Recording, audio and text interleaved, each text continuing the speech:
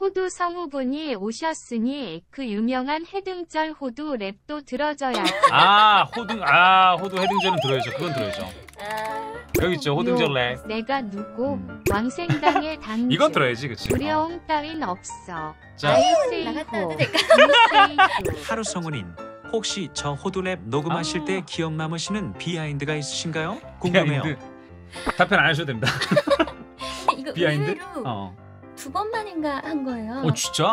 지금 처음에 했는데 어 너무 좋다고 이대로 가자 하셔가지고 한 번 더 해보겠다. 더 잘할 것 같다고 제가 한 번 더 했는데 그때는 왜 응. 그러니까 녹음할 때니까 음. 자신감 이만큼이었거든요. 음. 와 이거 지, 되게 진짜 이거 막 엄청 잘 나오는 거 아니야? 이랬는데 정작 나온 거 보면서 너무 너무 부끄러워서 아유. 깜짝 놀랐어. 아 이렇게 부끄럽게 나오는구나. 이러고 네. 아유 이 이 대단한 랩을